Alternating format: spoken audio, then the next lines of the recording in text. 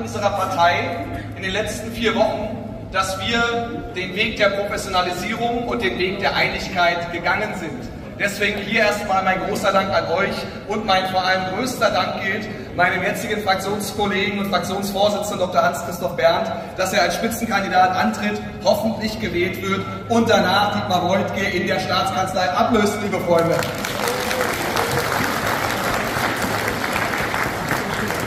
Aber trotz dieser guten Nachricht haben wir in den letzten Wochen und Monaten eigentlich wenig wenig Gelegenheit und Zeit gehabt, uns zu freuen.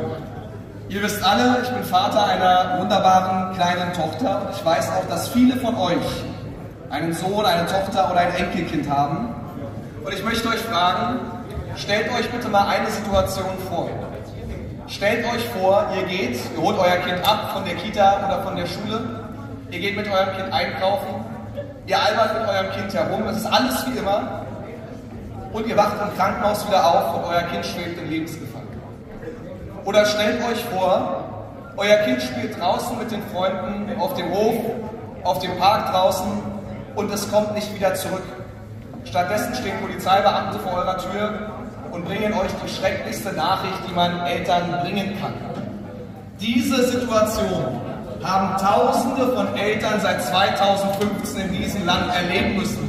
Und diese Situation ist es, die Antrieb für uns ist, dieses Land wieder vom Kopf auf die Füße zu stellen, liebe Freunde. Nie wieder sollen Kinder oder Frauen von Ausländern, illegalen Einwanderern in unser Land missbraucht, geschlagen oder getötet werden. Und dass es in dieser Woche gleich zwei solcher Vorfälle gab in Baden-Württemberg, zeigt eindeutig den Zustand unseres Landes. Und es zeigt auch eindeutig, wie die politischen Eliten mit dieser Situation umgehen. Die Tagesschau hat als ein vierjähriges Mädchen in einem Supermarkt von einem Syrer abgestochen wurde, nicht einmal darüber berichtet. Nicht einmal, dass am selben Tag, 80 Kilometer entfernt, ein weiterer Messerangriff stattfand und der Täter, ebenfalls ein Ausländer vom SEK, erschossen werden musste. Der SWR, der regionale öffentlich-rechtliche Rundfunk, hat die Herkunft der Täter verschwiegen. Die Bild-Zeitung hat es im Nachgang berichtigt. Es war kein Syrer mehr, es war dann nur noch ein Mann. Liebe Freunde, das sind Zustände in unserem Land, die können wir nicht akzeptieren.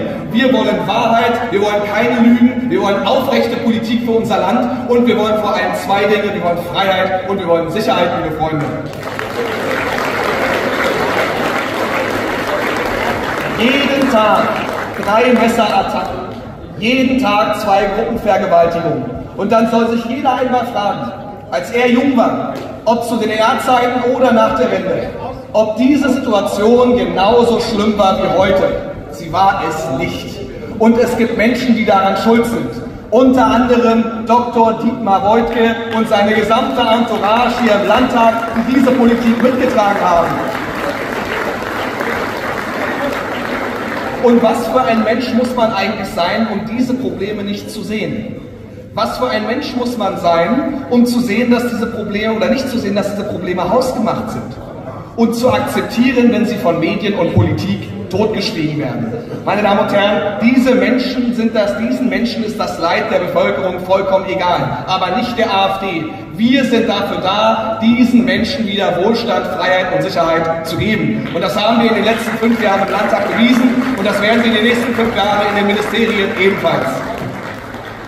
Und ich sage auch ganz klar, in die Richtung der SPD, die solche Vorfälle ja immer wieder gern vergessen möchte. Wir vergessen nicht, liebe Freunde. Wir vergessen nicht, welche Partei die Grenzen geöffnet hat. Wir vergessen nicht, wer den Frieden in unserem Land und unserem Kontinent aufs Spiel setzt. Und wir vergessen schon gar nicht, wer Andersdenkende über zwei Jahre ausgegrenzt, stigmatisiert und als Corona-Leugner diffamiert hat, liebe Freunde. Das tun wir nicht. Wir stehen an der Seite dieser Menschen. Diese Parteien und dieser Rundfunk, die das Tag für Tag tun, haben keine Überzeugungen. Davon bin ich überzeugt. Sie betreiben Machterhalt und sie, und sie nutzen dabei jedes Mittel, das ihnen in die Hände kommt. Sie nutzen den Inlandsgeheimdienst, um ihn auf unschuldige Bürger loszuschicken. Sie nutzen die Macht über, ihre, über ihren Einfluss im öffentlich-rechtlichen Rundfunk, um Andersdenkende zu stigmatisieren. Und meine Damen und Herren, Sie haben aus unserer Demokratie einen Parteienstaat gemacht. Und diesen Parteienstaat lehne ich grundsätzlich ab.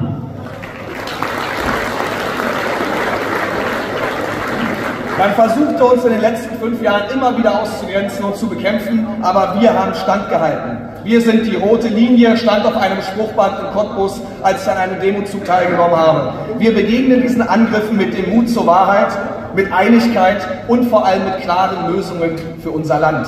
Und das unterscheidet uns von den anderen Parteien.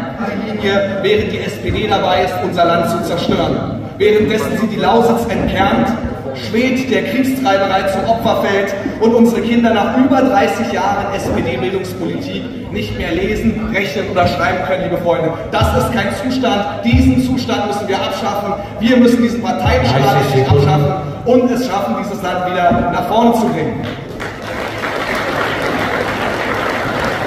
Und wir haben das getan mit vielen Problemlösungen. Wir haben zwei Untersuchungsausschüsse zur Aufarbeitung der Corona-Diktatur. Wir haben einen Untersuchungsausschuss zur Aufarbeitung des RBB-Skandals eingerichtet.